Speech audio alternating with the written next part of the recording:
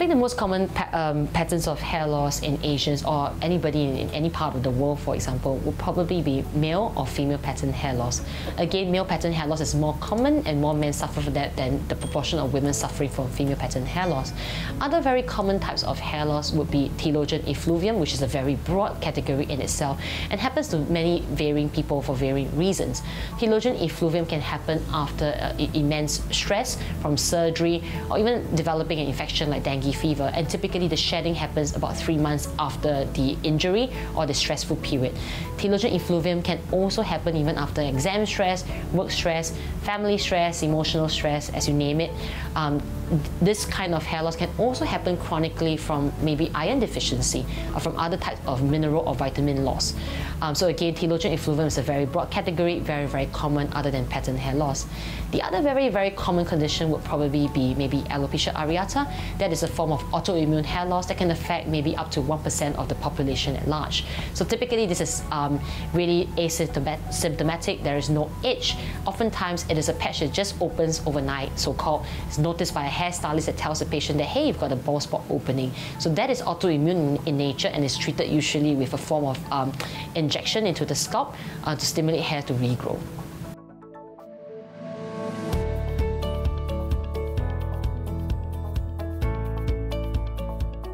I recommend washing your hair every day in Singapore's climate. Just once a day is probably enough and not longer than once every two days.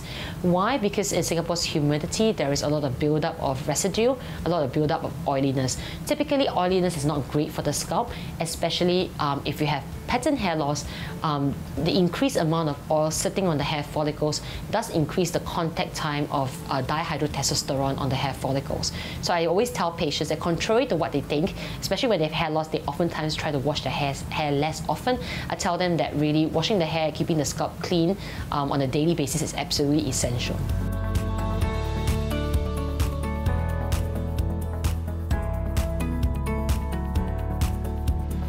Think um, in order to know whether a good candidate for hair transplant, you probably have to see um, a dermatologist beforehand who specializes in hair loss and hair transplantation to determine if you're a suitable candidate.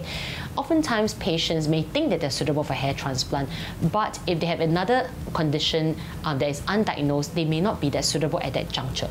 For example, if you have a condition like alopecia areata or the autoimmune form of hair loss that was very, very recent, like two months ago or three months ago, and it's just recently stabilized, and you also have male pattern hair loss, which I try to treat with a hair transplant, I would usually recommend patients to wait this out. Let the alopecia areata be burnt out for more than a year before we even contemplate doing hair transplantation.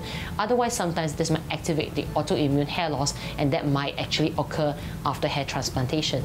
Or for example, somebody may have coexisting scalp psoriasis, and actually if you instrument the scalp for hair transplantation and the scalp psoriasis is not well controlled, it may actually aggravate um, the psoriasis and actually cause it to flare up.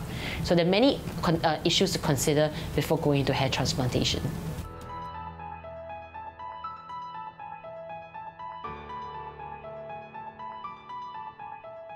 There is a correlation between um, some of the hair supplements, for example, like biotin, and the strength and the quality of the hair, as well as hair growth.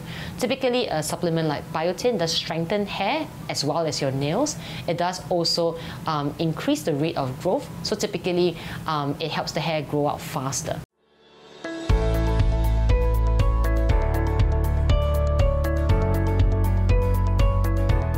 There is no formal test that can help you evaluate the strength or the quality of your hair, and there's no really formal, real grading scale or classification for that as well.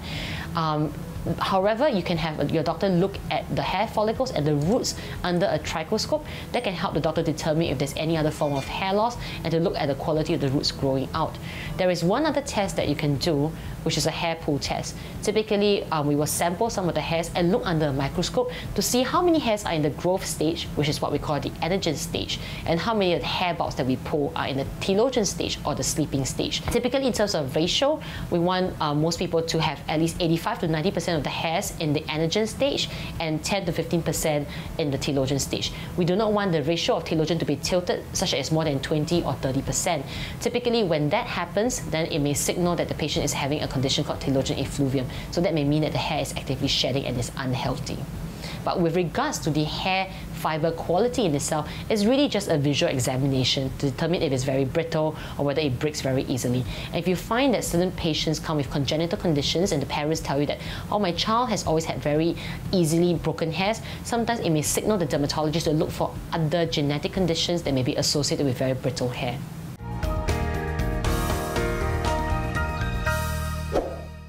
Don't forget to like, comment, and subscribe for your regular dose of Asian health information.